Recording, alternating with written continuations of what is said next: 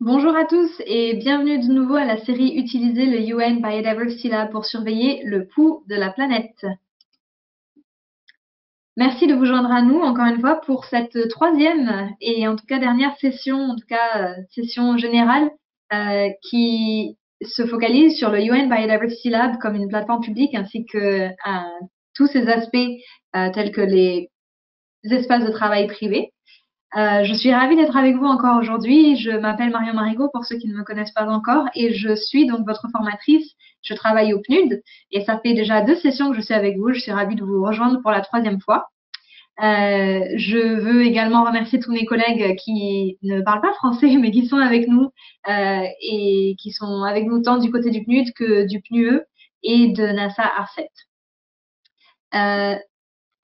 Comme vous le savez, donc c'est la troisième fois qu'on se rejoint. Euh, toutes ces sessions, donc euh, ces sessions qu'on appelle sessions intermédiaires au général, euh, c'est la troisième que nous avons aujourd'hui. Les deux précédentes étaient le 14 et 21 avril. Aujourd'hui, nous sommes le 28. et sachez que chacune de ces sessions a été faite en trois langues, en anglais, en français, en espagnol. Donc n'hésitez pas, si vous n'avez pas encore eu l'occasion de vous joindre à nous, à aller voir les enregistrements et visualiser les vidéos des sessions précédentes. Euh, tout ça est disponible sur la page, euh, la page du webinaire de ARCET. Et également, en plus des sessions intermédiaires, on a ce qu'on appelle des sessions avancées qui ont eu lieu donc hier, le 27 avril, et la dernière aura lieu le 4 mai. Ces sessions sont des sessions beaucoup plus euh, dynamiques et interactives où nos participants travaillent directement sur l'outil UN Biodiversity Lab à ce stade, je souhaiterais juste vous dire que donc la dernière euh, session avancée qui se tiendra le 4 mai est déjà complète. Euh, on a eu beaucoup de demandes cette fois-ci. Euh, donc à ce stade, on n'est pas en mesure de prendre de nouveaux inscrits. Mais encore une fois, si vous êtes intéressé par cette session, n'hésitez pas à me le dire. le plus de demandes on a, évidemment, le plus ça nous pousse à faire de nouvelles formations et s'assurer qu'on vous, on vous forme de la meilleure façon possible, en tout cas, sur le UN Biodiversity Lab. Vous le savez probablement déjà, mais les enregistrements des webinaires, les présentations PowerPoint et tous les devoirs à faire à la maison sont disponibles après chaque session, donc à l'adresse suivante, le premier lien que vous voyez sur euh, cette, euh, cette, diapositive. Euh, donc n'hésitez pas à cliquer dessus pour avoir accès à tous les matériels du cours et encore une fois aux sessions précédentes. et dans tous les cas, on aura à la fin de cette, de cette présentation, on aura une session pour les questions-réponses. Vous pouvez nous envoyer toutes vos questions. On vous encourage à en envoyer autant que possible. Vous pouvez les envoyer en, plusieurs langues, il n'y a pas de souci. Euh, et après chaque session, dans tous les cas, si jamais on n'arrive pas, euh, si jamais on n'a pas assez de temps pour traiter toutes les questions, vous pouvez toujours écrire à mes collègues Amber et Juan, mais également à ma collègue Annie au CNUD, afin d'envoyer votre question et on vous répondra par email. Donc n'hésitez pas. Pour les trois sessions intermédiaires, euh, c'est important de le rappeler, on aura un devoir de suivi qui sera disponible sur le site internet du cours. Et en fait, pour recevoir un crédit pour ce devoir et recevoir votre certificat, vous devez envoyer toutes les réponses via le Google Form avant la date limite, à savoir le jeudi 12 mai, donc ça se rapproche. Le lien vers le devoir, il sera disponible après la session euh, d'aujourd'hui, du 28 avril. Donc, euh, n'hésitez pas à aller sur le site et, et voir quels devoirs sont à faire et nous les renvoyer sous peu. Pour recevoir donc un certificat de complétion, vous devez assister aux trois webinaires en direct et à faire les devoirs. Le traitement des certificats, je le redis, prend un certain temps, donc vous pouvez vous attendre à recevoir euh, votre certificat de complétion environ deux mois après la fin du cours. Du côté des sessions avancées, le groupe du PNUD délivrera également des certificats euh, de complétion pour chacune des sessions avancées. Euh, chacune de ces sessions nécessitera, je tiens à le dire, un travail à envoyer au PNUD en plus des travaux qui ont été faits pour les sessions intermédiaires. Et il faudra donc les envoyer euh, toutes euh, pour recevoir votre certificat de complétion. Ça, c'est pour les gens qui ont déjà eu la possibilité de s'inscrire. Voilà donc un aperçu des sessions intermédiaires en tout cas. Euh, sur les deux semaines précédentes, on a eu deux sessions. La première se focalisait sur utiliser le UN Biodiversity Lab pour soutenir l'action nationale sur la biodiversité et le développement durable. Et la semaine dernière, on a exploré la plateforme publique du UN Biodiversity Lab. Aujourd'hui, c'est donc la troisième et dernière session. On va explorer les espaces de travail sécurisés et les développements futurs du UN Biodiversity Lab. Pour ce qui est des sessions avancées, euh, la semaine dernière, ou hier, pardon, excusez-moi, euh, il y a eu une euh, session pour une session avancée pour maîtriser la plateforme publique du UN Biodiversity Lab qui s'est plongée dans les fonctionnalités de la plateforme publique et qui a permis aux participants de faire un exercice indépendant sur l'utilisation de la plateforme publique. La semaine prochaine, il y aura la session avancée numéro 2 pour maîtriser les espaces de travail sécurisés de UNDL. Donc, ils vont se focaliser beaucoup plus sur ce dont on va parler aujourd'hui.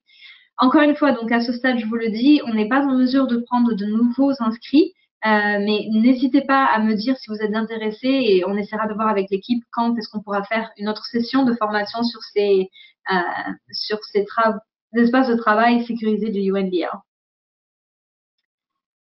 Alors aujourd'hui, de quoi on va parler? Euh, On va faire un récapitulatif de ce qu'on a couvert la semaine dernière. Euh, on va parler des fonctionnalités de l'espace de travail sécurisé et privé du UN Biodiversity Lab. Je vais vous présenter rapidement le projet des aires essentielles au maintien de la vie et les autres fonctionnalités à venir. Et bien sûr, comme d'habitude, on aura une session de questions-réponses à la fin de la session.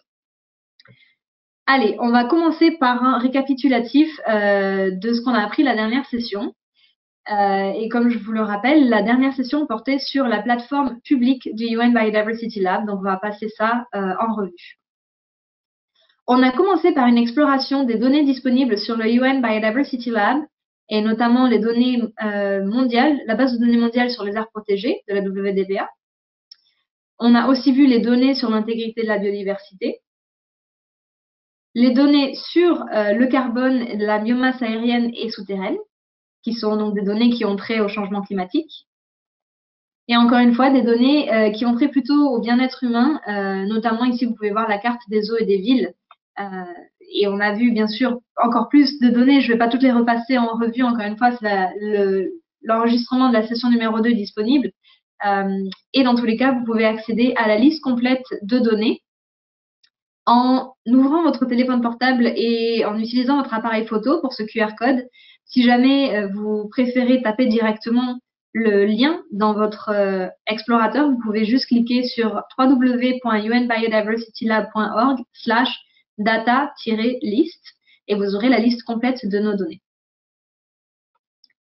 On avait aussi vu euh, les collections du UN Biodiversity Lab. Si vous vous rappelez, on s'est focalisé sur les aires protégées et les solutions basées sur la nature. Euh, je vous rappelle qu'on a deux autres collections qui vont arriver bientôt, une qui se focalise sur le cadre mondial pour la biodiversité post-2020 et euh, une qui arrivera et qui se focalisera sur la restauration. Donc notamment, les collections de données, elles visent à rassembler des couches de données pour la compréhension et l'action. Encore une fois, on a deux couches, deux collections pardon en ce moment, une sur les aires protégées et une sur les solutions basées euh, sur la nature. Et chacune de ces, de ces collections vous amène à des questions pertinentes politiques et des listes de données qui sont pertinentes euh, pour ce thème. Et enfin, la semaine dernière, si vous vous rappelez, on a exploré toutes les fonctions euh, de la plateforme publique du UN Biodiversity Lab. Ça allait donc de se connecter, rechercher et visualiser des ensembles de données mondiaux, calculer des métriques, euh, partager des vues et créer des cartes. Et euh, on avait eu un petit exercice interactif. Aujourd'hui, on va se focaliser sur les espaces de travail sur le UN Biodiversity Lab. Donc, on, on en a discuté il y a deux semaines, même la semaine dernière un petit peu. les espaces de travail du UN Biodiversity Lab, c'est vraiment une des fonctionnalités qui nous différencie des autres plateformes disponibles et des plateformes GIS. Euh, et je vais vous parler et vous guider un peu plus sur ces espaces de travail privés. Nous avons conçu la formation d'aujourd'hui pour couvrir les principaux éléments de nos espaces de travail du UN Biodiversity Lab, depuis donc un aperçu des fonctionnalités jusqu'aux compétences opérationnelles de base. Pendant ma présentation, si vous avez des questions, n'hésitez pas euh, à envoyer vos questions sur le chat. On s'assure de garder euh, quelques minutes à la fin pour les questions-réponses et dans tous les cas, encore une fois, si on n'arrive pas à répondre à vos questions, on aura un document euh, fait en trois langues notamment qui va être un rassemblement de, toutes les questions qui ont été posées tout au long de la formation. Et si donc jamais on n'a pas le temps de vous répondre directement pendant cette session, au moins on vous répondra par écrit un peu plus tard dans ce document. Allez, commençons par une introduction aux espaces de travail sur le UN Biodiversity Lab. Qu'est-ce qu'un espace de travail sécurisé sur le UNBL Les espaces de travail du UNBL sont au cœur du UN Biodiversity Lab. On est bien conscient que les gouvernements et les autres parties prenantes disposent souvent de données qui sont bien meilleures pour leur pays que celles qui sont disponibles au niveau mondial et souvent qu'ils ont besoin de réunir des utilisateurs clés pour collaborer et éviter la planification en silo. Nos espaces de travail permettent à tous les utilisateurs non commerciaux, qu'il s'agisse de gouvernements, d'agences des Nations Unies, d'organisations de peuples autochtones ou autres, de créer un espace de collaboration sécurisé. Vous pouvez accorder l'accès à un ensemble d'utilisateurs qui ont été choisis vous pouvez télécharger vos couches de données sur un serveur sécurisé et hébergé par l'ONU et vous pouvez télécharger des zones d'intérêt et calculer, n'importe laquelle des mesures disponibles pour cette zone. Si vous vous rappelez, on a des indicateurs disponibles, on l'a vu la semaine dernière, vous pouvez faire ça à travers l'espace de travail. Alors, les espaces de travail sur le UNDL, ils ne sont pas automatiques, il faut postuler. Donc maintenant que vous avez une, idée générale de ce que c'est, euh, comment est-ce que vous pouvez faire euh, une demande de, d'espace de, travail? Et pour ça, il faut remplir un petit formulaire. Donc sur la page d'accueil du UNBL, vous faites défiler la page et vous trouverez une option pour créer un espace de travail du UNBL. Vous cliquez sur En savoir plus pour accéder à la page l'espace de travail. Vous trouverez un aperçu donc de nos espaces euh, de travail similaires à ce que je viens de présenter. Vous faites défiler la page vers le bas et vous trouverez un formulaire de demande pour l'espace de travail. ici, vous voyez la description de ce que sont les espaces de travail.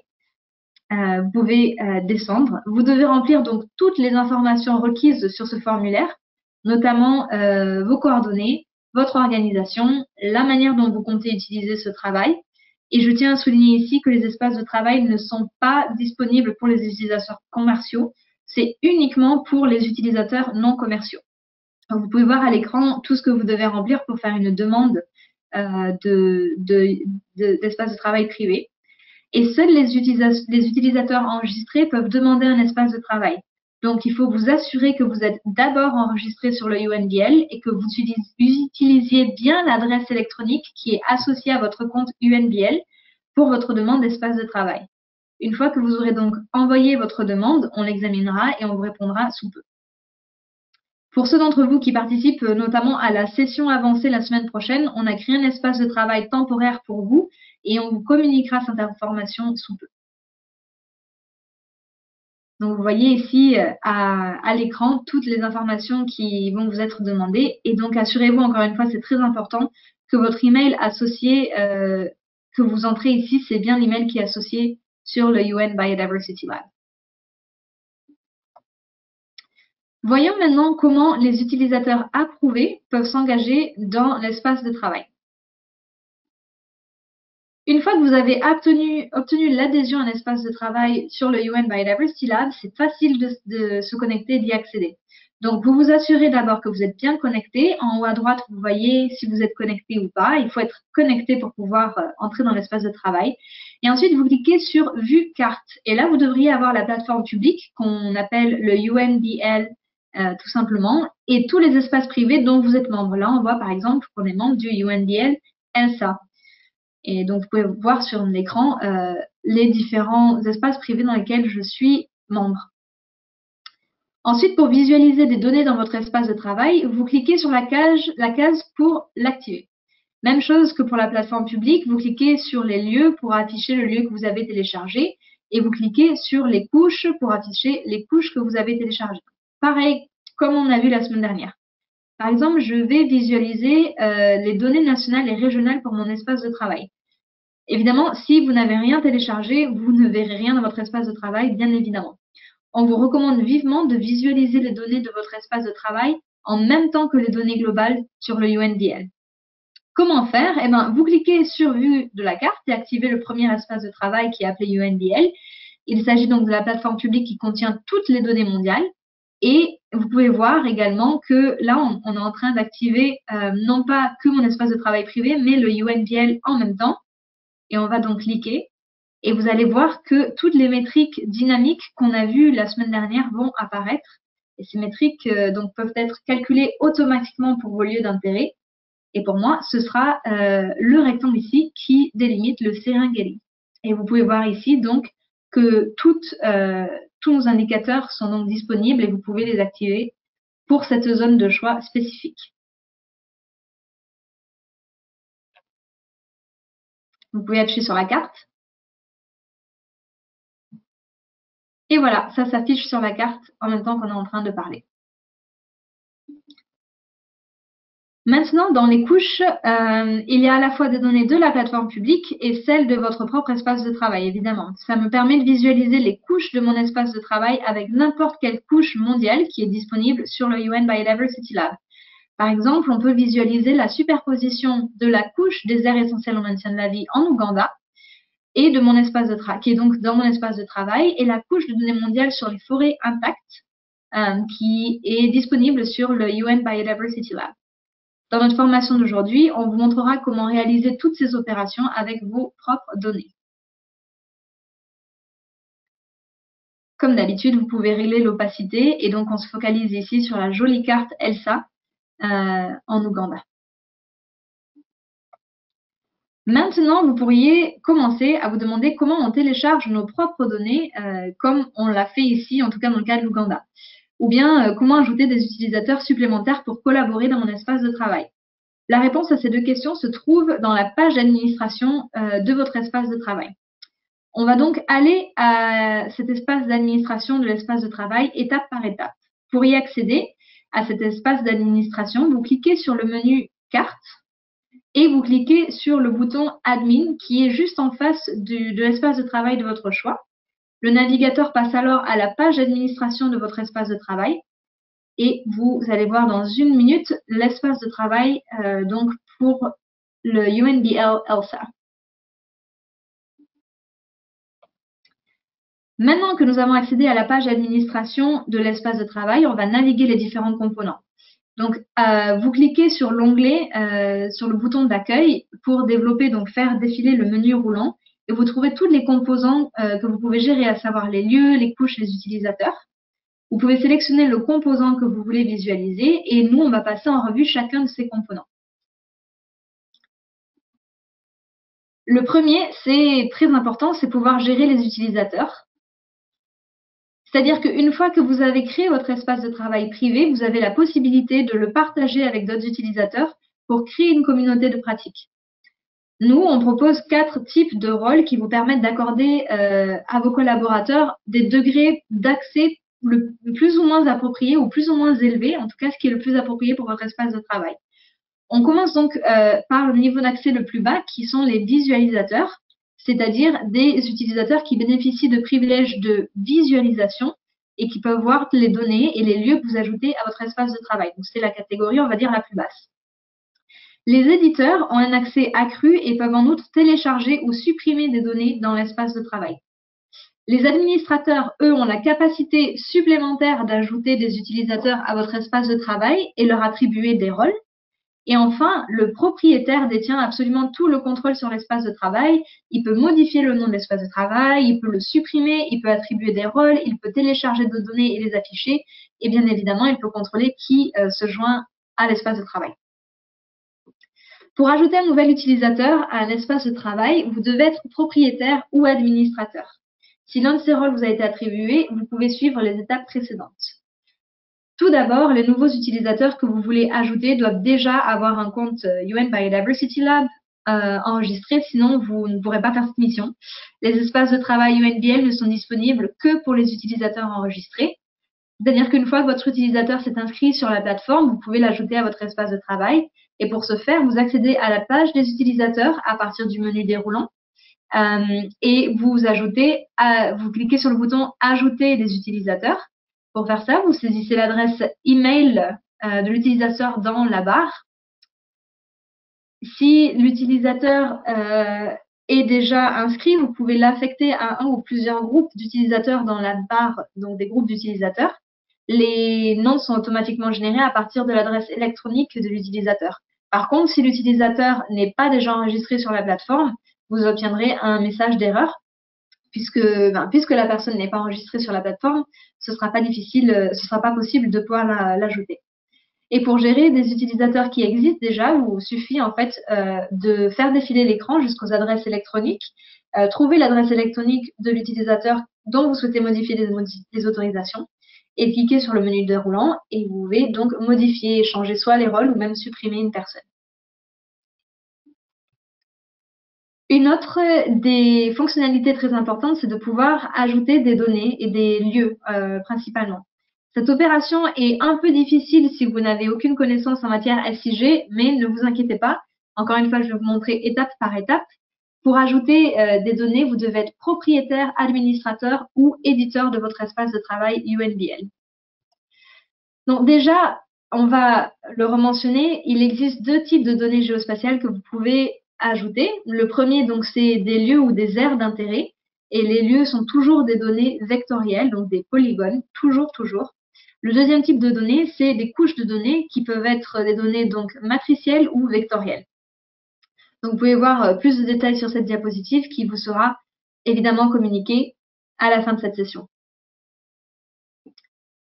Alors, pourquoi ajouter des lieux à votre espace de travail sur le UNBL cette fonctionnalité, elle vous permet de télécharger un fichier de forme vectorielle pour une zone d'intérêt sous-nationale, nationale ou transfrontalière.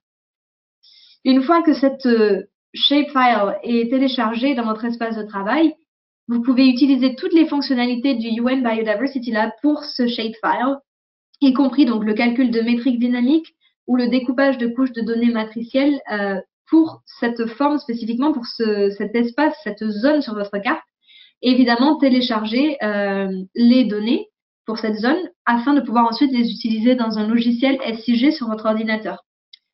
De plus, notre sécurité garantit que seuls les utilisateurs de votre espace de travail soient en mesure d'accéder euh, à ce shapefile, à cette zone d'intérêt et pouvoir l'utiliser.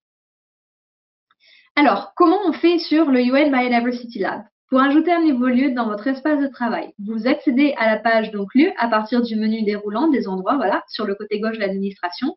Vous cliquez sur créer un nouveau lieu et nous, on va utiliser la frontière nationale du Costa Rica comme exemple pour démontrer euh, toutes les étapes. Sur la page du lieu, donc vous remplissez les informations suivantes, le titre, le type de lieu, vous sélectionnez donc la case appropriée, euh, le pays, donc ce sera utile pour filtrer vos recherches plus tard. Le slug, qu'est-ce que c'est le slug? C'est un identifiant unique pour le lieu qui ne contient que des lettres minuscules et des chiffres et des traits d'union. Euh, aucun espace ne peut être utilisé et nous, on vous recommande clairement de cliquer sur générer un nom de slug. Comme ça, ça se fait automatiquement par la plateforme. Vous téléchargez donc le shapefile, la forme, la zone de votre lieu. Euh, actuellement, on n'accepte que des fichiers au format GeoJSON et chaque fichier doit être inférieur à 6 mégas. Si vous avez un logiciel SIG comme QGIS, il est facile de convertir le format du fichier et je vais vous montrer comment le faire dans la prochaine diapositive.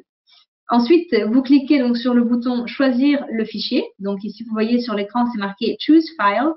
Vous sélectionnez le fichier euh, du lieu. Donc le mien, je vais voir, c'est euh, Costa Rica CR Boundary que vous pouvez voir sur l'écran. Et puis vous cliquez ensuite sur euh, enregistrer et visualiser. Si vous êtes en mesure de visualiser votre lieu dans la Mapbox comme dans mon écran ici, ça signifie que vous avez réussi à télécharger votre lieu avec succès. Félicitations. Donc maintenant, au cas où vous auriez besoin de plus de conseils sur la conversion du format du fichier, le moyen le plus simple que j'ai trouvé, c'est de le convertir directement avec le logiciel euh, SIG comme QGIS ou ArcGIS. Donc ici, dans QGIS, vous cliquez sur le fichier, le shapefile, sur Exporter et vous sélectionnez Enregistrer les caractéristiques sous. Save Features As. Là, vous trouverez une liste de formats de fichiers et vous sélectionnez GeoJSON. N'oubliez pas de vérifier que votre système de référence de coordonnées, c'est bien EPSG 4326. Donc, comme vous pouvez le voir ici. Puis vous cliquez sur Exporter et vous obtiendrez le fichier GeoJSON. En outre, j'aimerais rappeler que chaque fichier de lieu, donc chaque endroit, doit être un fichier vectoriel unique et il est possible d'avoir plusieurs polygones, euh, comme mon fichier ici, euh, mais ils doivent être tous fusionnés en un seul élément. Très bien. Euh, revenons donc à l'espace de travail. Une fois que vous avez enregistré votre nouveau lieu, vous serez amené à l'écran du lieu. pour que votre lieu soit accessible en vue cartographique, vous devez le publier en cliquant sur le bouton donc publier qui est dans le coin supérieur droit de mon écran. Et par exemple, ici actuellement, sans publication, vous ne pourrez pas trouver ce lieu dans euh, la vue de la carte. Ce n'est que après avoir cliqué sur publier le lieu euh, et cliquer pour l'afficher dans le panneau de gauche qu'il apparaît donc ici, comme vous pouvez le voir, euh, sur votre dashboard. Voilà. Maintenant, si je clique sur ce lieu, la carte va s'agrandir.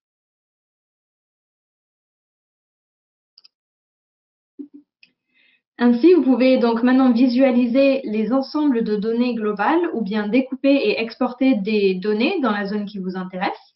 Lorsque vous activez la plateforme publique, euh, les métriques dynamiques sont également calculées automatiquement à gauche, comme d'habitude. Cette fonction est euh, donc, je pense, très puissante, surtout lorsque vos centres d'intérêt ne sont pas forcément disponibles sur la plateforme publique, euh, comme les zones à l'échelle provinciale ou même des zones un peu plus locales.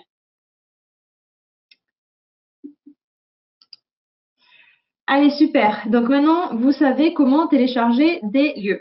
Mais qu'est-ce qu'il en est donc des couches? Comment ajouter des couches de données? Les couches sont votre deuxième option de téléchargement euh, de données. Pourquoi voudriez-vous télécharger vos propres couches de données? Cela vous permet d'ajouter vos propres données spatiales à l'espace de travail et de les visualiser avec les autres données mondiales qui sont disponibles sur le UN Biodiversity Lab. Le UNBL a construit plusieurs connecteurs API ou API pour vous permettre d'importer vos données.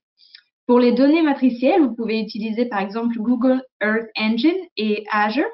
Et pour les couches vectorielles, vous pouvez utiliser Carto et le connecteur Esri sera aussi bientôt disponible. En outre, vous pouvez également télécharger vos données vers la base de données du UNBL qui est sur Azure et les ajouter à votre espace de travail. Notre sécurité garantit que seuls les utilisateurs de votre espace de travail puissent accéder et utiliser les couches de données que vous téléchargez.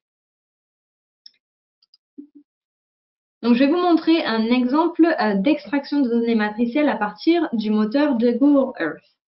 Pour ajouter une nouvelle couche de données, premièrement, naviguez vers la page euh, donc couche à partir du menu déroulant sur le côté gauche de l'outil d'administration. Vous cliquez sur le bouton euh, donc créer une nouvelle couche. Voilà, créer un nouveau calque, créer une nouvelle couche.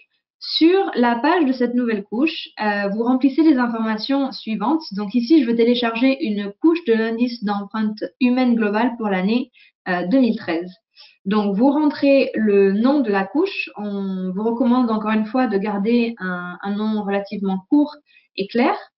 Le slug, euh, vous insérez un identifiant unique pour la couche, euh, encore une fois, qui ne contient que des lettres minuscules, des chiffres et des traits d'union. Euh, aucun espace ne peut être utilisé. et on vous recommande, notamment, je l'ai déjà dit, mais on vous recommande d'utiliser le bouton générer un nom de slug pour vous aider à générer le nom approprié. Vous ajoutez les couches incluses, ça concerne uniquement notamment les couches groupées. Euh, on en parlera un peu plus tard dans cette session. En ce qui concerne les fournisseurs de couches, euh, saisissez donc la source dont vous, vous tirez en fait euh, cette couche, ce calque. mes données, moi, proviennent de Google Earth Engine, qu'on appelle GEE. E. Donc, je choisis GEE e ici. On va regarder ça sur l'écran en même temps, comme ça vous pouvez suivre. Euh, et donc, veillez bien à sélectionner la bonne option. Alors, voilà, fournisseur de couches, on va cliquer, vous voyez GEE, e, euh, mais vous avez aussi d'autres options en fonction de votre situation. Une fois que vous avez mis le fournisseur de couches, euh, vous regardez le type de couche. Et là, pareil, vous pouvez attribuer un type de couche. Euh, le mien, vous allez le voir apparaître, c'est un raster. Et ensuite, en ce qui concerne les catégories de couches, euh, vous pouvez sélectionner la classe thématique appropriée dans le menu déroulant. Et moi, pour mes données, il s'agit de la pression humaine sur la nature, donc je choisis impact euh, et pressions humaines, qui est donc Human Impact and Pressure. Euh, donc la partie suivante ensuite, c'est la configuration de la couche et c'est la partie la plus importante pour amener cette couche euh, au UNBL euh, avec succès. Donc, je vais passer un peu de temps ici pour euh, vous expliquer comment, comment faire cette configuration. Comme vous pouvez le voir sur cette diapositive, la configuration suit un modèle particulier qui peut être copié-collé dans de nouvelles couches supplémentaires. Donc, vous pouvez trouver toutes les informations sur notre guide d'utilisation de l'espace de travail. Donc, je vais demander à mes collègues de déposer le lien suivant dans le chat. Euh, donc, c'est www.unbiodiversitylab.org slash unbl-workspaces-en. Pour commencer, euh, donc laissez-moi vous indiquer la partie de la configuration que vous devez modifier vous-même. Tout d'abord, donc surligné en rose, comme vous de le voir, l'identifiant de vos données dans GEE. E. Il doit correspondre exactement aux données que vous téléchargez. Par exemple, voici mes données dans mon compte GE et je dois copier l'identifiant de l'image ici et le coller dans la configuration. Ensuite, définissez la couleur euh, de votre carte et déterminez le style de la légende. Pour les données continues, on vous suggère d'utiliser le type de rampe et pour les données catégorielles, on vous suggère d'utiliser l'intervalle. L'empreinte humaine, c'est un exemple de données continues, donc je sélectionne rampe. Ensuite, la couleur surlignée en jaune est celle que j'ai définie en fonction de la valeur de mes données. La valeur donc du Human Footprint varie de 0 à 50 et je veux donner une couleur différente à chaque plage de valeur. Donc ici, on utilise le col hexadécimal pour différentes couleurs et il est très facile de trouver le sélecteur euh, ou un sélecteur de couleurs en ligne en recherchant sélecteur de couleurs hexadécimal euh, dans votre euh, navigateur. Et lorsque vous avez choisi une couleur, il suffit de copier le code couleur comme c'est en train d'être fait. Voilà. Il en va de même pour le style de la légende. Vous devez remplir les informations en fonction de votre réglage de couleur ci-dessus. Et pour les données continues, on vous suggère d'utiliser le, gradient comme type de légende. Maintenant, vous copiez-collez cette configuration sur la page de la couche et une fois que vous avez toutes les informations prêtes, vous cliquez sur Enregistrer et voir les détails. Je vais donc laisser euh, un tout petit peu de temps pour euh, faire l'exercice et copier euh, toute la configuration en entier. Voilà, on copie et on colle. Et vous cliquez sur Save and View Details, comme vous pouvez le voir. Après avoir cliqué donc sur Enregistrer et afficher les détails, le UN Biodiversity Lab génère une page de la couche N'oubliez pas que toutes les informations qu'on vient de remplir sont toujours modifiables dans la page d'administration. Euh, mais on n'a pas encore terminé. Ensuite, ce que vous devez faire, c'est vérifier que tout a bien euh, été fait, que la couche est maintenant générée et qu'un ID, un ID euh, de la couche a été attribué. Vous devez copier cette ID et éditer votre configuration de nouveau pour remplacer l'idée du modèle dans l'URL ici. Cliquez donc sur Enregistrer de nouveau et maintenant, votre couche devrait être prête. Pour activer la couche euh, donc et pour la voir sur la carte, vous cliquez euh, sur la barre de navigation pour publier et vous la définissez comme prioritaire. Donc, je laisse euh, notre petit ordinateur faire. Voilà, vous avez copié. Une fois que vous aurez donc cliqué sur primaire et publié, vous pouvez trouver cette couche dans votre espace de travail et vous pouvez l'activer dans la vue, euh, voir sur la carte et voir donc si elle fonctionne bien, euh, également si la couleur correspond à ce que vous attendez. Et si vous souhaitez modifier la couleur ou la légende, il vous suffira de nouveau de revenir à la page d'administration et la modifier à nouveau. Il n'y aura pas de souci. Donc là, sur l'écran, vous pouvez voir qu'on va cliquer sur Publier.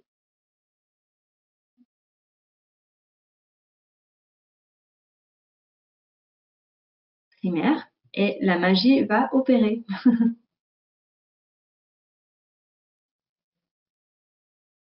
et maintenant, elle va apparaître sur la carte.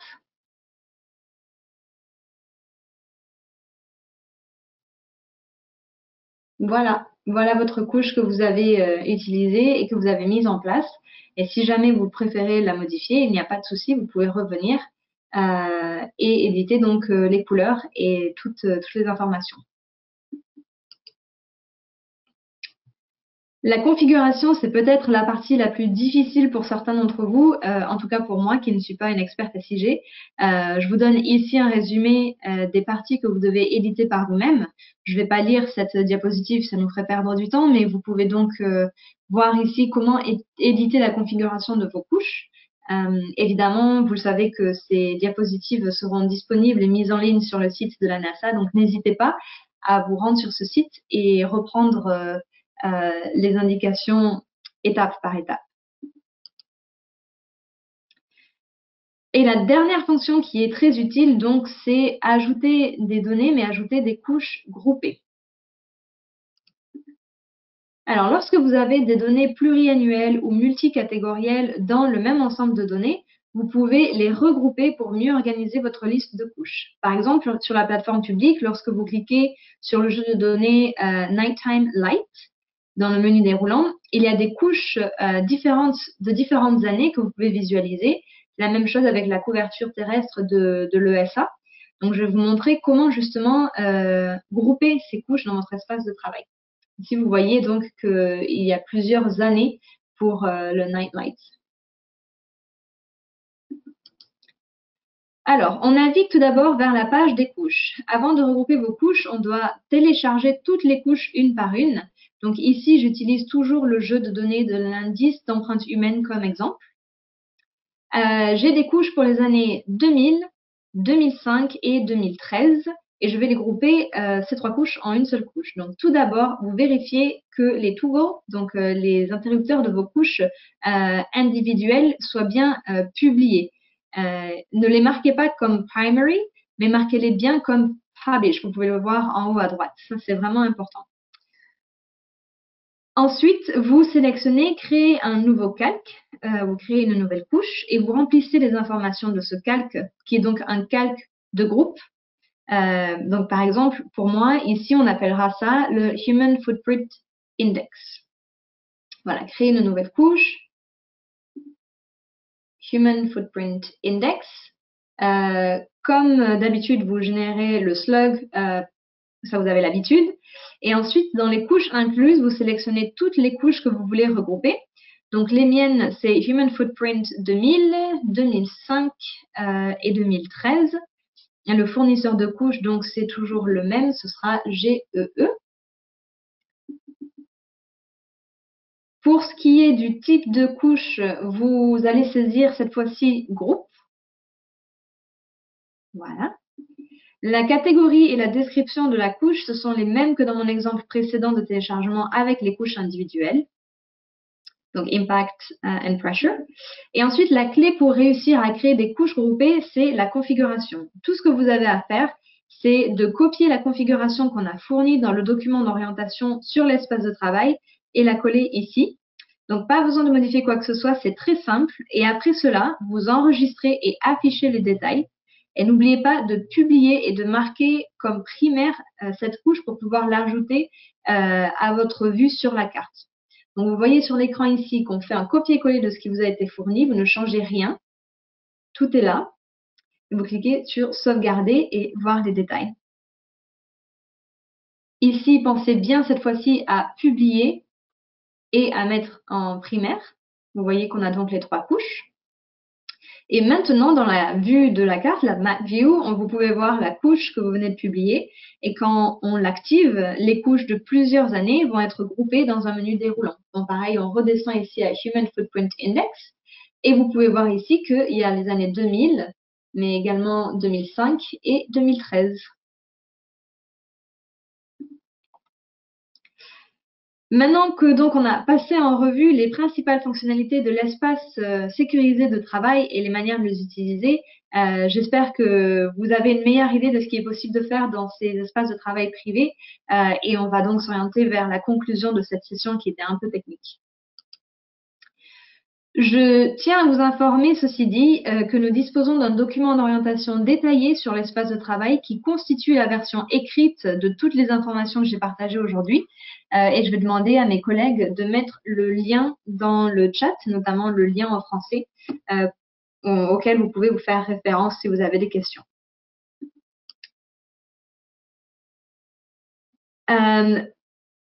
On a donc fini notre orientation sur euh, les, les, espaces de travail privés et sécurisés. J'espère qu'il y avait beaucoup d'informations intéressantes que vous avez apprises.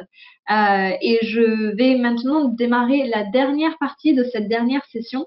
Euh, on va se tourner un peu plus vers l'avenir et voir ce qu'il en est du UN Biodiversity Lab dans le futur. notamment, on aime, je vais discuter avec vous de voir comment on pense en fait les données spatiales en général et comment en particulier le UN Biodiversity Lab pourrait soutenir nos efforts, vos efforts pour une action informée et efficace pour la nature, le climat et le développement durable.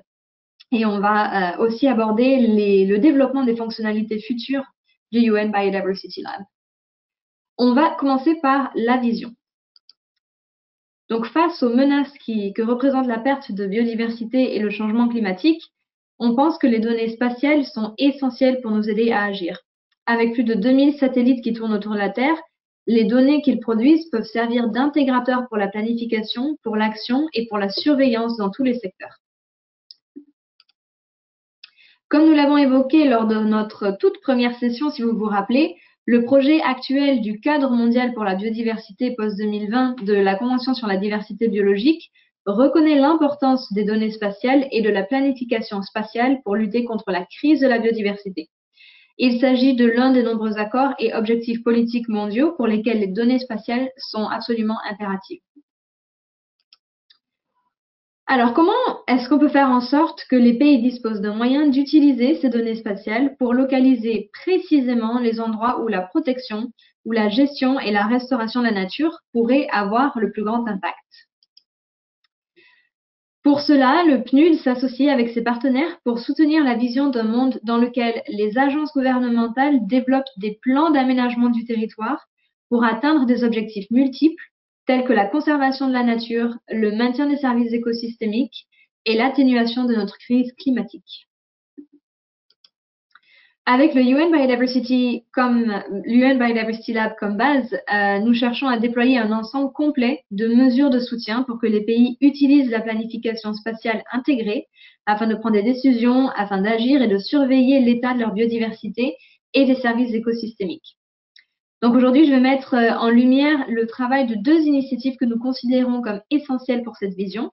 La première est Nature Map et notre travail euh, ensuite de cartographie des aires essentielles au maintien de la vie. Je vous montrerai également comment nous travaillons pour rendre ces deux initiatives disponibles prochainement via le biais euh, du UN Biodiversity Lab. Et enfin, je vous donnerai un avant-goût des nouveautés euh, que vous pouvez attendre du UNBL au cours de l'année à venir. Donc, commençons par NatureMap. Nos collègues de NatureMap utilisent la science de la planification systématique de la conservation pour nous aider à identifier des zones prioritaires au niveau mondial où des actions peuvent permettre d'atteindre efficacement des objectifs multiples. Au cours des dernières années, euh, l'initiative NatureMap a produit de nouvelles données spatiales mondiales sur la répartition des espèces, les stocks de carbone et la fourniture d'eau propre par les écosystèmes terrestres. Pour ce faire, euh, NatureMap a développé des analyses mondiales de conservation et de restauration afin de mettre en évidence les zones qui présentent une valeur simultanée pour euh, les espèces, pour les stocks de carbone et l'approvisionnement en eau propre, et ce en utilisant la science de la planification systématique de la conservation. Tous les résultats qui sont produits par l'initiative NatureMap sont disponibles sur notre site UN Biodiversity Lab. Nous pensons que ce type d'analyse et de données mondiales est utile pour plusieurs choses, euh, pour évaluer la taille du prix de la planification intégrée, pour informer la fixation d'objectifs globaux euh, dans les cadres des conventions internationales, pour comprendre la répartition géographique des priorités potentielles dans le monde et pour effectuer des comparaisons au-delà des frontières internationales. En même temps, l'appropriation par les pays, euh, les données et les processus participatifs sont essentiels pour une planification réelle qui alimente les stratégies et les plans d'action nationaux.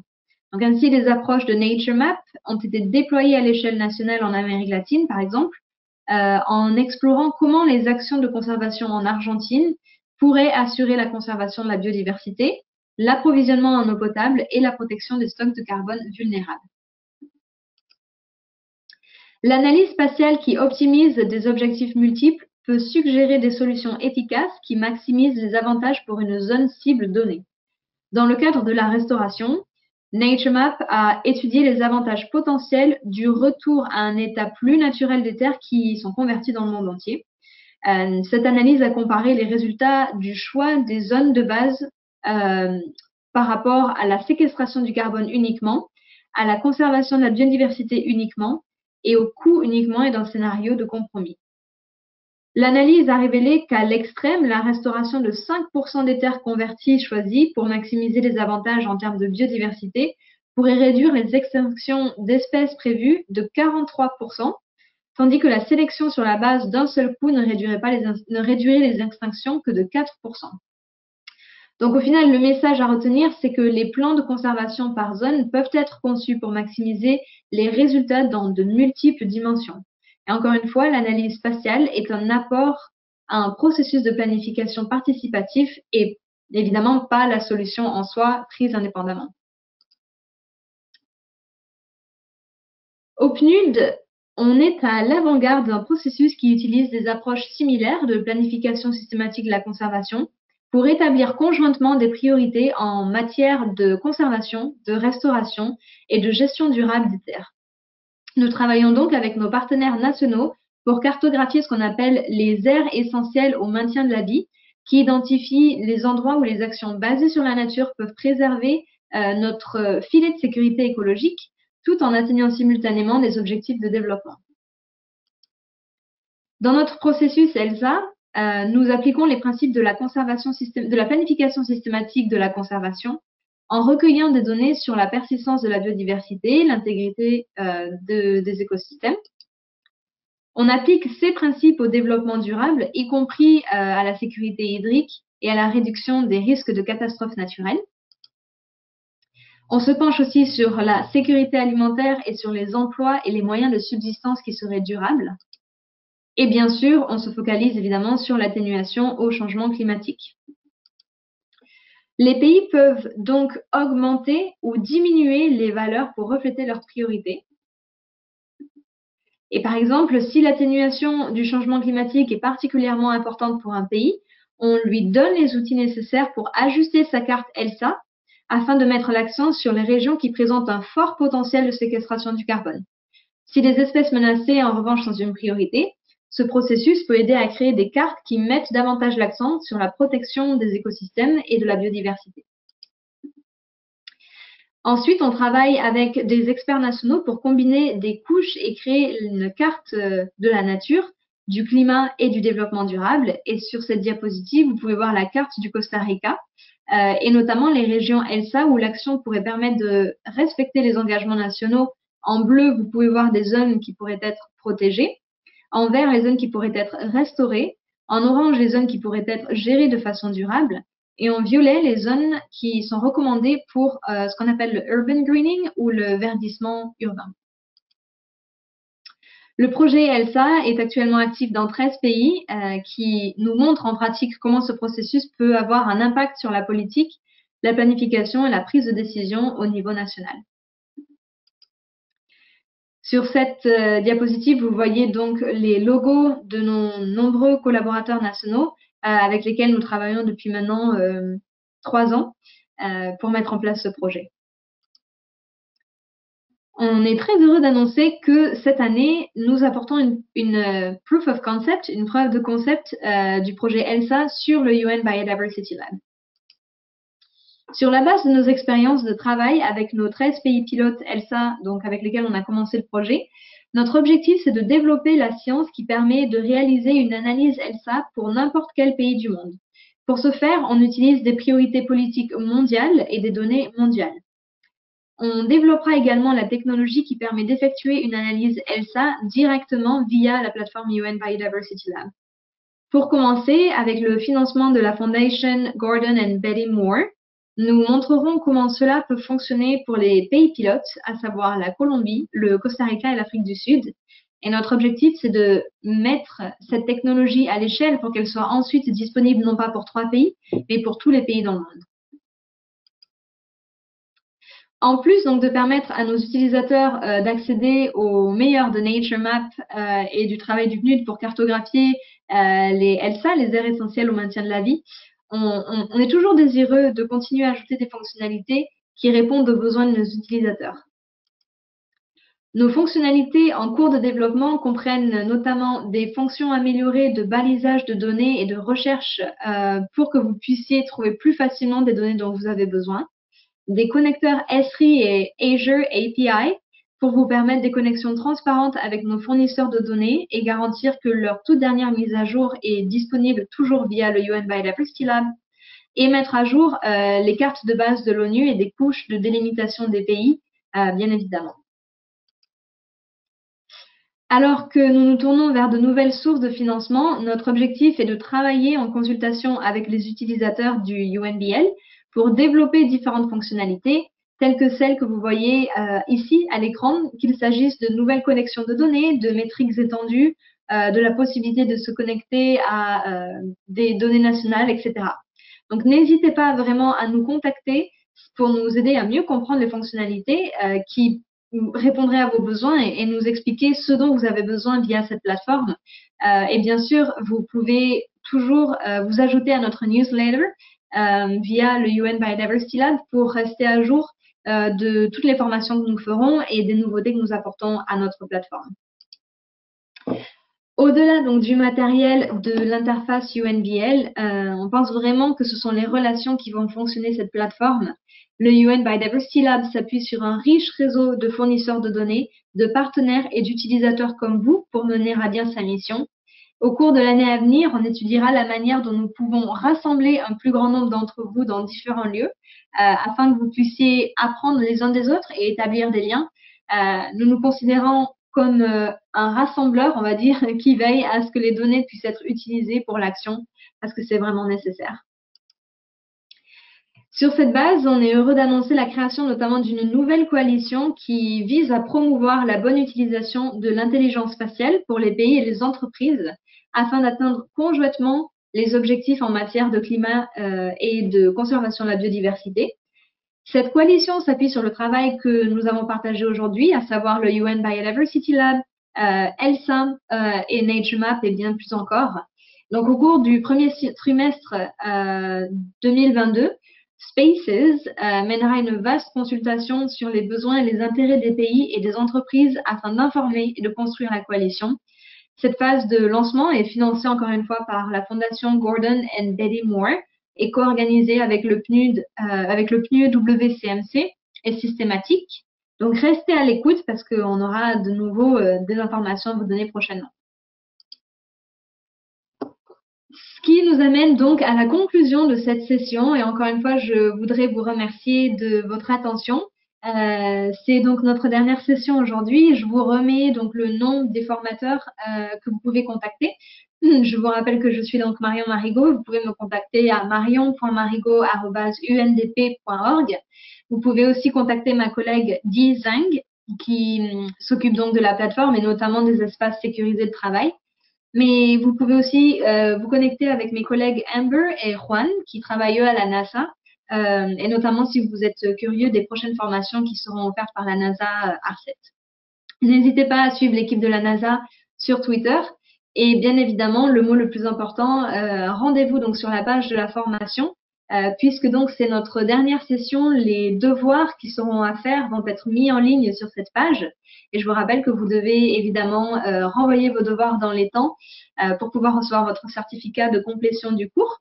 Vous aurez toutes les informations sur les devoirs euh, sur cette page directement, donc s'il vous plaît, n'hésitez pas à y aller.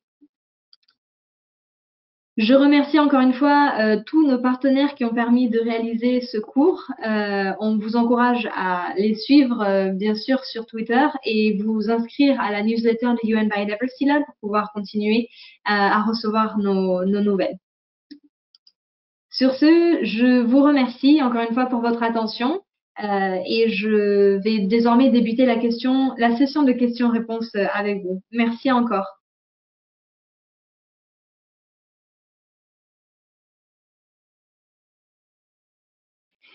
Alors, je vais me tourner vers nos collègues et voir si on a eu quelques questions. Euh, encore une fois, si vous étiez là la semaine dernière, vous savez que je travaille actuellement avec nos collègues euh, du PNUE WCMC et de la NASA 7.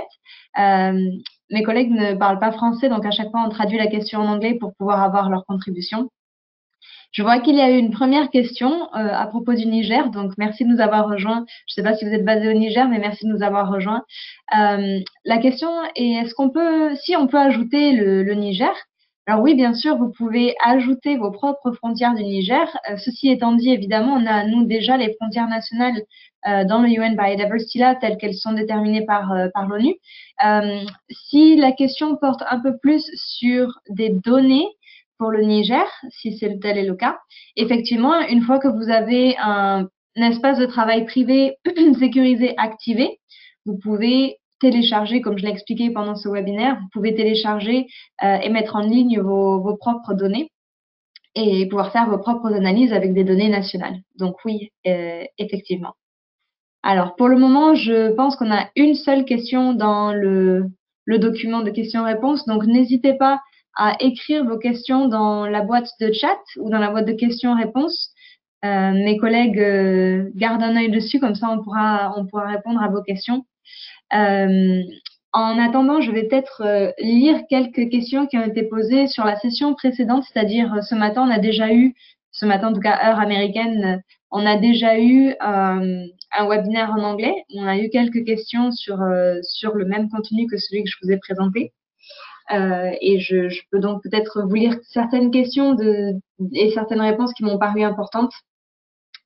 Euh, une des questions était notamment est-ce qu'il est possible de télécharger son propre euh, polygone, donc qui peut représenter une région spécifique, dans le UN Biodiversity Lab pour effectuer des statistiques zonales sur les couches, par exemple l'indice d'intégrité euh, globale? Alors oui, effectivement, on peut télécharger, vous pouvez télécharger vos propres lieux d'intérêt via un espace de travail du UNBL et vous pouvez ensuite calculer n'importe lesquelles de nos métriques dynamiques qui sont actuellement disponibles sur la plateforme publique euh, dans ces lieux précis. Euh, je le répète encore une fois, la liste des métriques, ça comprend la perte du couvert végétal, l'indice d'intégrité de la biodiversité, l'indice de végétation améliorée, la couverture terrestre mondiale, l'activité mensuelle des incendies, les aires protégées, la densité du carbone terrestre, l'empreinte humaine terrestre. Et évidemment, on espère, pouvoir ajouter de nouvelles métriques à l'avenir, euh, notamment celles qui seraient pertinentes pour le nouveau cadre mondial pour la biodiversité. Euh, voilà, on vous tiendra au courant une fois qu'on a, euh, plus de questions, on a plus de, moyens en tout cas pour pouvoir développer des nouvelles, métriques. Si on descend peut-être une des questions, Brooke is question 5, euh, qui me paraissait importante. La question 5, c'était notamment une question, est-ce que des utilisateurs de différents pays peuvent maintenir des espaces de travail pour les mêmes emplacements d'un pays? Alors, c'est important de savoir que les utilisateurs ne sont pas limités par les actions d'un autre utilisateur. Donc, si un utilisateur télécharge un lieu dans son espace de travail, euh, il importe peu en fait qu'un autre utilisateur ait téléchargé exactement le même lieu. Euh, ce sera considéré comme un lieu complètement séparé qui est spécifique à votre utilisation et à votre gestion de votre espace de travail. Donc oui, vous pouvez avoir un espace de travail qui se focalise sur un, lieu, même si un collègue euh, ou une autre personne l'a déjà fait. La question suivante, la question numéro 6, de question 6, euh, est aussi euh, importante. Euh, la question est la suivante. Existe-t-il un moyen d'obtenir des emplacements comme des villes sur une carte sans télécharger des données? Autrement dit, après avoir fait un zoom sur un lieu, comme un pays par exemple, est-ce qu'on peut voir les grandes villes sur sa carte euh, alors oui, vous pouvez zoomer dans la carte de base, c'est-à-dire la carte qui existe sur le UN Biodiversity Lab, sur la plateforme publique pour voir les villes. À l'heure actuelle, on ne propose pas les villes en tant que lieu techniquement, donc ça ça veut dire qu'elles ne sont pas en mesure d'être cliquées dessus euh, et de calculer les métriques dynamiques. Il ne faut pas considérer en fait euh, une ville comme un, comme un lieu euh, avec des contours très spécifiques. Ceci dit, on propose des unités administratives sous-nationales en plus des frontières nationales. Si vous voulez travailler spécifiquement sur le lieu de la ville, ça c'est un élément qu'il faudra télécharger dans votre espace de travail ou où là, vous pourrez utiliser une couche spécifique pour une ville, par exemple, euh, et, utiliser vos jeux de données. Si vous avez des jeux de données qui sont propres à certaines villes, euh, n'hésitez pas à les, envoyer au lien. Donc, vous voyez euh, ce formulaire qui est surligné on va, comme d'habitude, vous, vous envoyer le lien de cette page de questions-réponses et vous pourrez cliquer sur le lien pour envoyer vos suggestions de données. Alors, je regarde en attendant si on a eu d'autres questions ou pas. Alors, je, if, if we can go back up actually. Um, we did have a question. We, on a reçu une question. Alors, comme d'habitude, euh, je laisse le temps à mon collègue euh, Oscar de, répondre. La question est la suivante. Quelle est la fiabilité de ces données si l'on veut, intégrer, si veut les intégrer euh, dans des publications scientifiques? Y a-t-il des restrictions au niveau de leur utilisation? Donc Oscar euh, va répondre à l'écrit. En attendant, Oscar, I can answer a little bit. Euh, toutes ces données, en tout cas les données qui sont sur la plateforme publique, ont été soumises à un processus très rigoureux de validation des données et d'approbation par nos partenaires et notamment les agences du PNU et du PNUD. donc on, on, on, considère effectivement que ces données sont très fiables. Et c'est pour ça, par ailleurs, si vous soumettez et si vous nous envoyez des données euh, que vous souhaitez mettre en ligne sur la plateforme publique de UNBL, ces données aussi seront soumises à euh, un processus d'approbation de, assez strict. Euh, y a-t-il des restrictions à leurs utilisations? Il n'y a pas forcément de restrictions aux utilisations des données qui sont sur la plateforme publique parce que le but justement c'est de les rendre accessibles et de vous permettre de pouvoir les utiliser facilement, gratuitement. Ceci étant dit, euh, dans la session d'aujourd'hui et d'hier, on a bien, euh, d'hier, pardon, la semaine dernière, on a bien euh, insisté sur le fait que si vous utilisez des données ou une couche spécifique, vous devez absolument noter l'origine et la source de ces données, et notamment qui l'a développée, quand est-ce qu'elle a été mise à jour, etc. Si vous retournez sur le site de la formation sur ARCET, euh, et que vous accédez notamment à la présentation de la semaine dernière, vous aurez, euh, vous aurez plus d'informations sur comment euh, mettre la référence dans votre légende. Et encore une fois, j'insiste, il n'y a pas de, il n'y a pas de limite dans l'utilisation de ces données, mais il faut respecter voilà la source et bien la noter euh, pour créditer les auteurs. Euh, voilà, et je pense que c'est effectivement ce que euh, ce que Oscar disait euh, ah oui, ça c'est une, donnée importante. On peut dire effectivement que il y a en plus du processus d'approbation assez strict euh, et rigoureux par l'ONU, euh, chacune de ces données, ces jeux de données a aussi en fait un scientific paper associé à, ce jeu de données. Donc vous pouvez vous référer aux informations et aux données scientifiques derrière ces données pour pouvoir vous faire une idée vous-même. Thank you, Oscar. Euh, alors, troisième question. Euh, est-ce que le UN Biodiversity Lab a des filiales dans d'autres pays? Comment se passe le recrutement si une personne souhaite, par exemple, rejoindre l'équipe de recherche et développement? Euh, alors, je vais laisser Oscar répondre de son côté pareil, mais effectivement, le, le UN Biodiversity Lab, c'est une collaboration entre le PNUD, le PNUE, notamment le PNUE WCMC, et la CDB. Euh, actuellement, on a, euh, on dirait pas, on a une équipe relativement euh, limitée pour pour gérer ce UN Biodiversity Lab. on a effectivement une équipe qui qui gère la plateforme au jour le jour. Et en plus de ça, on a évidemment tous nos partenaires et fournisseurs de données avec qui on est en relation constamment. Pour le moment, on n'a pas forcément euh, ni même un, on va dire un QG, ni même euh, des filiales dans d'autres pays. C'est juste une équipe qui s'en occupe euh, et on verra à quel point on arrive à se développer dans le futur. on verra notamment à quel point le UN Biodiversity Lab s'avère être pertinent pour le nouveau cadre de, de la biodiversité, le cadre mondial de la biodiversité. Euh, dans tous les cas, si vous avez un intérêt euh, particulier, vous pouvez euh, évidemment vous rendre sur la plateforme UN Biodiversity Lab et vous, je n'ai plus l'adresse en, tête, mais vous trouverez l'adresse générale pour, vous adresser à notre équipe. Vous pouvez envoyer vos questions là-bas. super, merci beaucoup pour vos questions. En attendant, je vais retourner un peu plus bas à la question numéro 9. Uh, so, Brooke, maybe we can go down to question 9 from this morning. Um, je descends avec vous. euh, C'était une question qui me semble intéressante, euh, la question numéro 9 que vous voyez à, votre, sur votre écran. les visualisateurs, éditeurs et administrateurs doivent-ils avoir un espace de travail euh, pour être dans l'espace de travail d'un propriétaire ou doivent-ils simplement être enregistrés C'est-à-dire la question est-ce qu'il faut que pour participer à un espace de travail donné, est-ce qu'il faut que l'utilisateur soit auparavant membre d'un autre espace de travail? Alors non, pas forcément, ça c'est important de le dire. Il faut simplement que la personne soit enregistrée.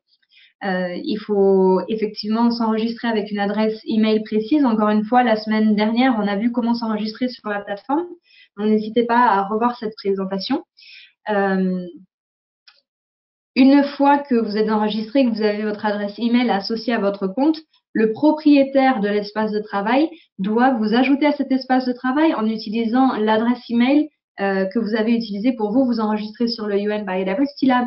Euh, on en a fait donc la démonstration euh, aujourd'hui et la semaine dernière. Euh, mais il y, a, aussi une possibilité pour vous de télécharger. Donc, vous voyez à l'écran aussi en cinq langues. J'imagine que ce qui vous intéresse, c'est le français. Euh, vous pouvez également télécharger le guide d'utilisation des espaces de travail. Encore une fois, ne vous inquiétez pas, on mettra ce document à votre disposition avec, euh, avec ce document de questions-réponses. Euh, ceci étant dit, vous pouvez d'ores et déjà vous rendre sur le UN Biodiversity Lab et vous avez tous les guides d'utilisation de la plateforme en fait dans ces cinq langues. Donc, c'est déjà accessible en, français. Uh, and Brooke, I'm going to say on question 10, since we're here, um, sur la question 10, euh, on a reçu une question ce matin qui est intéressante sur la taille du fichier. Une personne a essayé de télécharger un fichier GeoJSON euh, de son pays, mais apparemment la taille du fichier était un peu trop importante. Est-ce qu'il existe un moyen de contourner ce problème euh, Alors mes collègues ont répondu qu'effectivement, pour le moment, il y a des limitations sur la taille de téléchargement on serait intéressé de travailler donc sur ce point avec vous si c'est votre cas également et voir si on peut vous aider ça se fera au cas par cas. Donc si ça c'est votre situation, n'hésitez pas à contacter ma collègue Di. Euh, vous voyez son adresse c'est di.zang@undp.org pour approfondir la question et encore une fois on traitera ça euh, un peu au, cas par cas parce que c'est assez rare comme situation, euh, mais mais on s'en occupera. N'hésitez pas à nous contacter.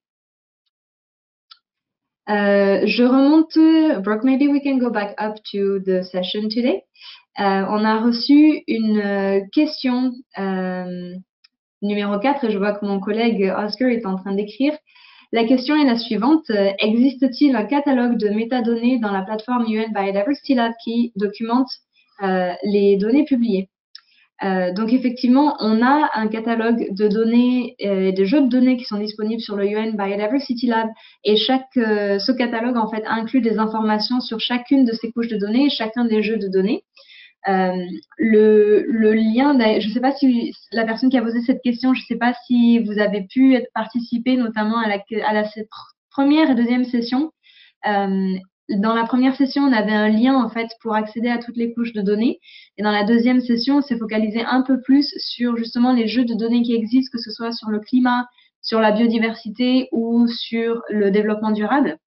Donc n'hésitez pas, encore une fois, à retourner sur la page de la NASA ARCET pour avoir accès aux présentations des sessions précédentes. Euh, je pense que vous pourrez facilement accéder voilà, à, notre catalogue de, de données qui existent via, voilà, via la, présentation. Euh, thanks, Oscar. Euh, encore une fois, peut-être je vais prendre quelques minutes pour discuter d'autres questions. Brooke, if we go down again to question 14 from this morning. Encore une fois, je redescends pour les questions qui ont été posées ce matin pendant la session en anglais. Vous voyez la question 14 à l'écran. Peut-on réaliser diverses analyses spatiales en utilisant des rasters de différentes résolutions ou s'agit-il seulement de permettre la visualisation? Ça, c'était une question euh, un peu piège euh, à laquelle mes collègues ont répondu de cette façon. Pour le moment, on ne peut calculer les métriques que pour les huit indicateurs qu'on vous propose via la plateforme. Euh, je les ai mentionnés plus tôt sur le couvert végétal, intégrité de la biodiversité, végétation améliorée, la couverture terrestre, euh, les incendies, les aires protégées, la densité du carbone et l'empreinte humaine. Euh, donc, on offre la possibilité de calculer ces métriques automatiquement pour toutes les formes, pour tous les shapefiles que vous téléchargez dans votre espace de travail. Par contre, vous ne pouvez pas à ce stade effectuer d'autres analyses avec les couches que vous vous téléchargeriez. Euh, c'est pas donc parce que vous téléchargez une couche de données, euh, on va dire privée sur votre espace de travail privé, que forcément ça va générer euh, des métriques dynamiques. C'est une fonctionnalité euh, qu'on aimerait bien sûr rendre disponible à l'avenir, euh, mais vous vous doutez que c'est un, défi technique, un peu technologique aussi, donc on y travaille dessus pour le moment. Et bien évidemment, quand, on aura plus de nouvelles, on, vous tiendra au courant. Et je voulais aussi descendre à la question 16. So, Brooke, if we can go down to question 16. Euh, on a reçu une question ce matin.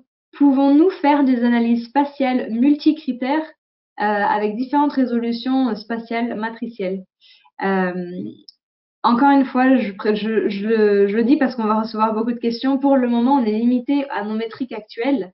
Euh, vous, vous pouvez, encore une fois, télécharger vos données et avoir un shapefile dans votre espace de travail personnel, ça va calculer les métriques pour ce shapefile précisément. Encore une fois, pour qu'on n'ait pas de questions ensuite, ce n'est pas possible de générer de nouvelles métriques dynamiques à ce stade, euh, mais n'hésitez pas voilà, à mettre en, place, on va dire, votre shapefile privé avec votre zone d'intérêt privée pour pouvoir utiliser au mieux ces, données ces métriques dynamiques. Uh, maybe we can go back up um, et repartir voilà aux questions, euh, voir si on a reçu plus de questions euh, ce matin de la part de notre groupe francophone. Mais je crois pas qu'on ait forcément de questions. Je vois encore que la dernière question qu'on a reçue, c'était la question numéro 4 euh, sur le catalogue de données. Alors, je ne sais pas si d'autres de, mes collègues voudraient ajouter quoi que ce soit. Um, Oscar, for instance, if you would like to add anything and I can translate in French, um, or if you feel we're all set. um, I don't think there's too much needs adding from my point of view at the moment. Um, yeah, nothing from me. Sorry, Marion. Non, perfect. Euh, donc Oscar qui est donc du PNU WCMC avec moi qui m'aide à répondre à ces questions et qui nous a aidé ce matin euh, reste également disponible. Euh, voilà, si vous avez des questions, n'hésitez pas. Euh, et, n'hésitez pas à nous contacter également après la session d'aujourd'hui si vous avez des questions ou des interrogations qui vous viennent à l'esprit. Une fois peut-être que vous avez eu le temps de, de vous familiariser un petit peu avec les espaces de travail privés. Euh, donc je le redis, la semaine, en fait hier, on a eu le premier, euh, la première session avancée sur euh, espaces, sur la, pardon, sur la plateforme publique euh, du UN Biodiversity Lab où on a eu une participation intéressante euh, et où nos participants ont pu faire des exercices euh, directement sur la plateforme du UN Biodiversity Lab. Peut-être que certains d'entre vous qui sont connectés actuellement ont pu s'inscrire pour la session avancée, la deuxième, qui aura lieu donc mercredi prochain. Euh, et celle-ci, elle se concentrera spécifiquement sur les espaces de travail sécurisés. Encore une fois, on va donner l'accès euh, aux participants à un espace de travail pour qu'ils puissent faire des exercices en ligne directement et nous poser des questions. Comme je l'indiquais au début de la session, euh, cette, session donc avancée, elle est complète parce que pour pouvoir fournir une formation de qualité, il faut qu'on ait un nombre limité de participants lorsqu'on fait des exercices de ce type. Mais n'hésitez pas encore une fois à nous, à nous dire si vous êtes intéressé euh, et que vous n'avez pas pu vous enregistrer pour, pour cette session avancée parce qu'il y avait trop de monde. N'hésitez pas à nous le dire. Euh, le plus de demandes on reçoit, le, plus on essaie en fait de développer un nouveau, une nouvelle formation. Donc, euh, donc n'hésitez pas à nous le faire savoir. Et n'hésitez pas également à vous inscrire sur la newsletter du UN Biodiversity Lab. Euh, vous avez juste à vous rendre sur le site de la plateforme et vous pourrez vous inscrire. À ce stade, donc, je ne vois pas de nouvelles questions. Uh, Brooke, Oscar, I do not see new question. Um, encore une fois, donc, n'hésitez pas. Mon nom, c'est Marion Marigot. Euh, et vous pouvez m'écrire à marion.marigot.undp.org. Euh, N'hésitez pas à me contacter et on répondra avec plaisir à vos questions. En attendant, euh, écoutez, je vous souhaite une bonne fin de journée euh, ou de soirée ou de matinée selon où vous êtes. Et je vous remercie beaucoup pour votre attention lors de toutes euh, ces sessions intermédiaires. C'était dense en information, mais on est ravis de voir le niveau de participation à ces sessions. Et je vous dis à une, prochaine fois.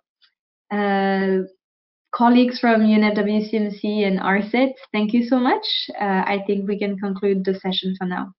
Merci à tous et à bientôt. Au revoir.